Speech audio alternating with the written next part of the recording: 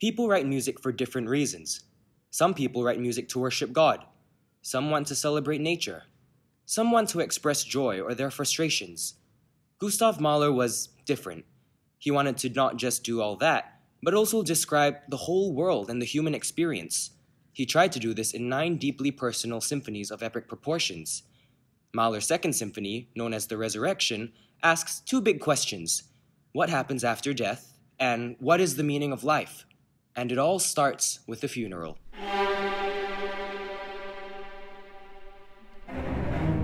We stand at a funeral of a well loved person and reflect on the life he lived. We realize that everyone suffers and has to die eventually. In that moment, we ask, What now? Do we exist after death? Is life a cruel joke? To go on living, we need answers.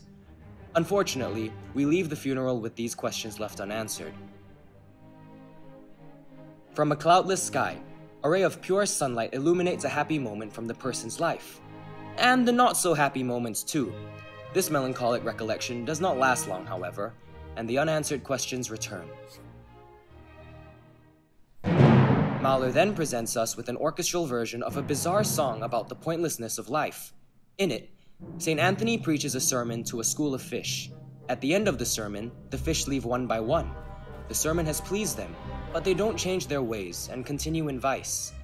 Mahler described this in another way watching a dance through a window and hearing no music. The turning and twisting seems senseless. The world looks like this when you lose yourself, distorted and crazy, as if reflected in a concave mirror. He cannot bear this feeling anymore and cries out in despair.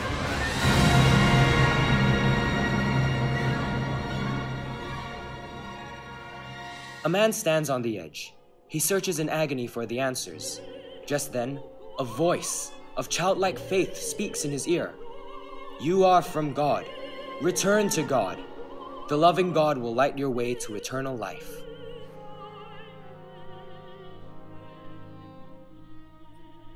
Mahler shows us a terrifying vision of the apocalypse. The earth shakes, the dead arise and march along in a mighty procession.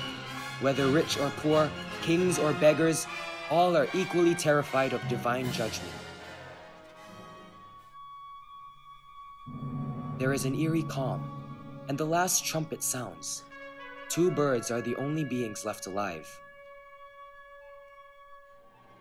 The heavenly chorus calls on the dead to rise again, singing that we did not live in vain.